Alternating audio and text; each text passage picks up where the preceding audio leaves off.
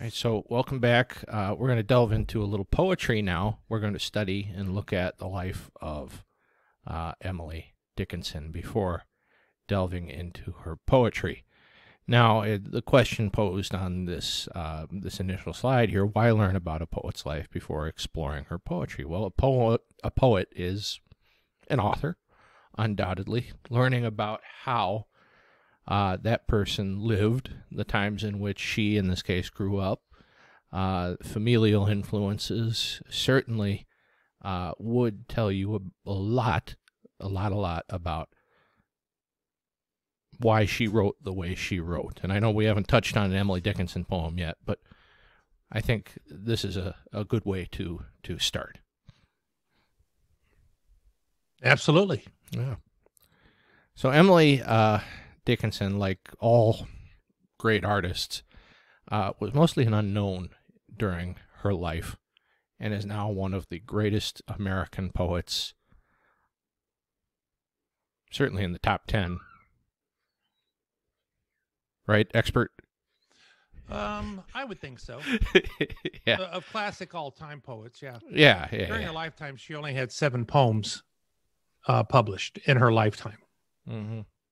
Mm-hmm. because they wanted to change him. Her poetry was unconventional for the time.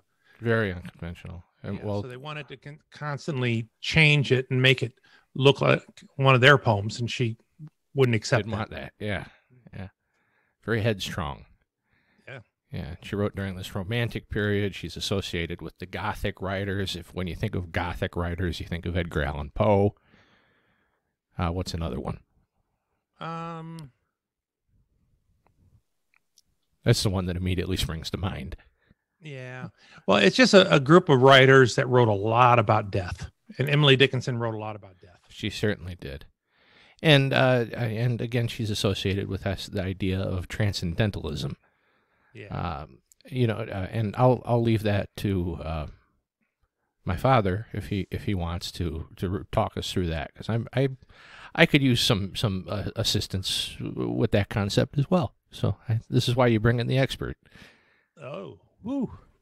Um, well, it's the idea that um, there is something out there, but the only way that you can touch that thing that is out there or come in contact with that thing that is out there is through your intu- through your intuition.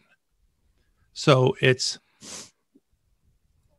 um, your intuition will tell you those things that are right. So when when you feel close to to say God or transcendentalists focused a lot on nature and they thought that God was in nature.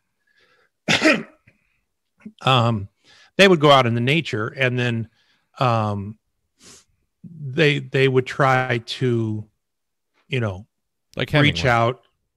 Yeah. Yeah. Well, not well. Hemingway liked to go out and kill things.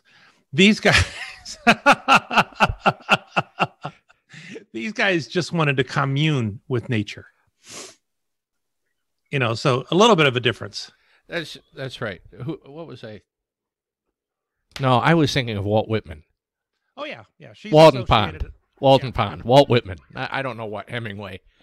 Well, Why- Walden Pond was not Walt Whitman. Wa- Walden Pond was um David Thoreau.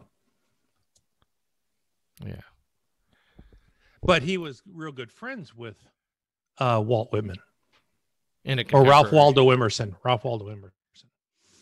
And um, that's a whole different story. But that that one's funny because he went and spent that year supposedly living in a little cabin off, isolated in the woods, off Right. of Walden Pond.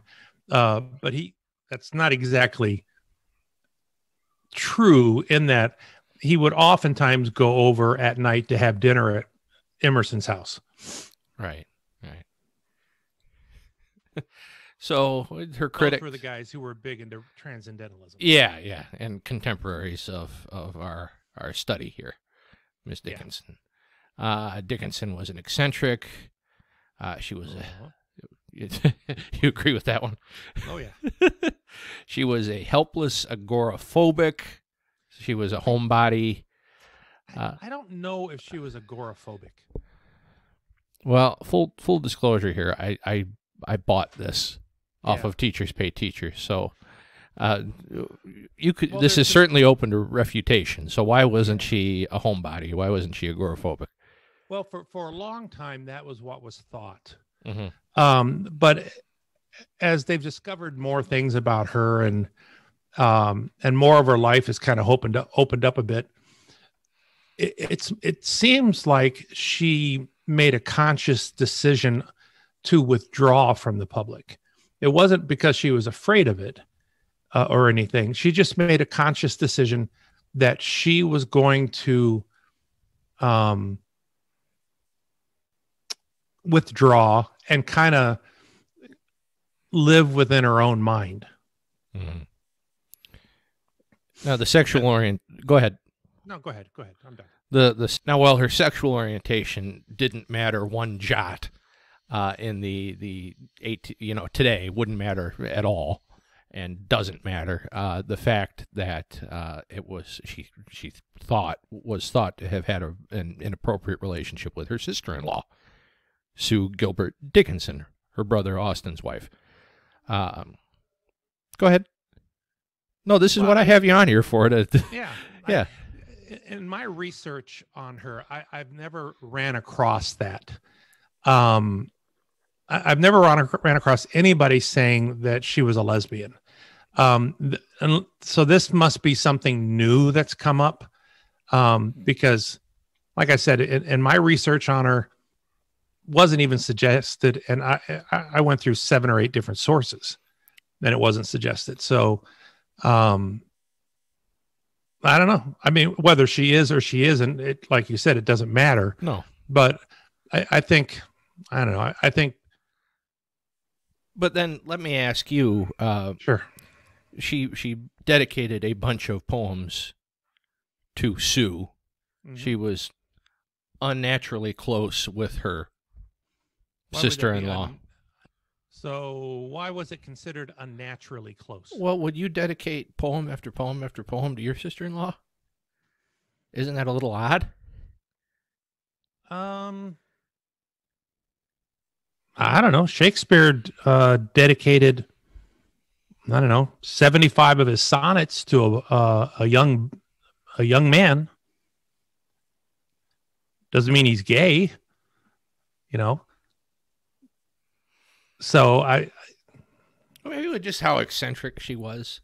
Maybe that was just something. Yeah. I don't know. yeah, It doesn't I- I- matter one it- one lick.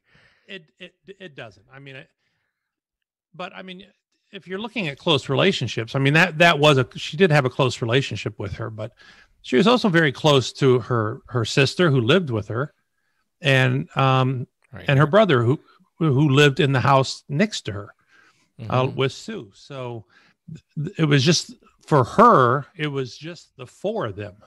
She we when she withdrew, those four became her world. right. You know. So go ahead. Right. So Mr. Dickinson was a father. Uh, was Mr.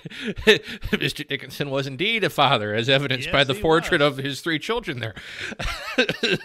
so uh, Mr. Dickinson was a lawyer, politician. He served one term, I believe, in the U.S. House of Representatives Yes. and uh, just a community leader in Amherst, Massachusetts. Uh, Emily came into the world around 18, not around, she came into the world in 1830 and was the middle child. She came right in between Austin and Lavinia. Uh, had a very distant relationship with her parents. I get the sense that her parents didn't really understand her all that well. No, I don't think they did. Yeah. But she had a very um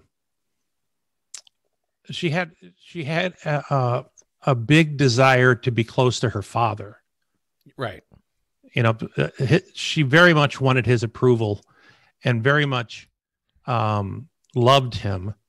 Um but it was just they just came from two completely different worlds in, in their heads, you know. He was a politician, a banker, um a, you know that's where his mind was and he was very much women should behave a certain way and and emily didn't fit that mold at all No, Definitely not. Definitely not. So she was educated, which was still, you know, unusual for women at that time, um, and attended the Amherst Academy, ages 10 to 17, which her father founded. Yeah. Which might explain why she got a spot. Could very well be. Independent, introspective uh, gal. Can you comment any on her childhood? Do you have anything to add? Um, well, her childhood, she was evidently very much of a socialite. You know, er, the, a lot of people thought she was withdrawn her whole life, but I guess um, new stuff coming to light paints her more as just kind of more of a, a normal, social, outgoing young girl. You know, she had friends. She liked to go and do things. Um, I know she had a friend uh, who died that she was that was very close to, uh, and she sat at her bedside. I think it was when she was 16. Mm-hmm. Sat at her bedside, was allowed to for three days, and and watched her friend die. You know, she wanted to be there to comfort her. Wow. You know, so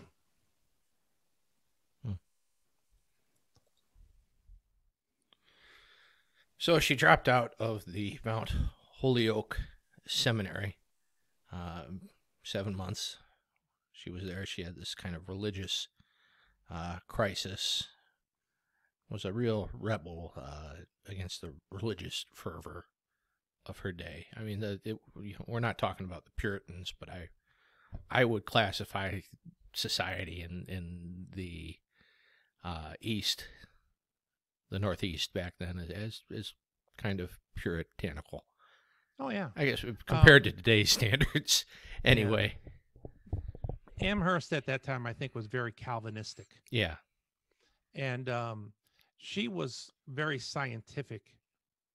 Sh- She read a lot of science books, and was very involved in if it if it can't be proved by science, then it it doesn't exist or whatever, you know. So, um, so yeah, she had a.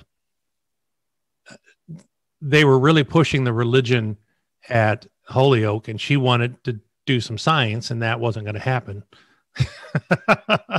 so yeah, she dropped out. Did she believe in in God, or was that? I, I think she did, um, but it it wasn't something she practiced much in her life. I see.